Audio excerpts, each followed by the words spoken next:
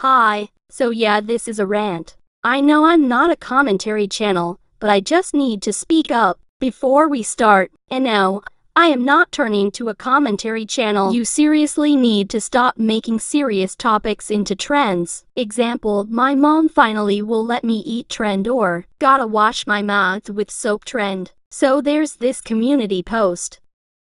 Washing your mouth with soap is very dangerous. Please never try it. Remember that this community is mostly children who can be like, oh, my favorite creator made a video with someone's OC washing their mouth with soap. I'll do the same when I'm sad. The same things go with murdering, suicide, poisoning, and more. Please stop.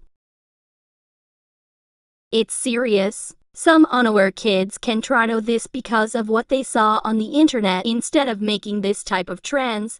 Make some wholesome and happy ones or sad ones but without things like this. And remember to add a trigger warning. TW this kind of topic can really trigger some people. Stay safe guys, bye.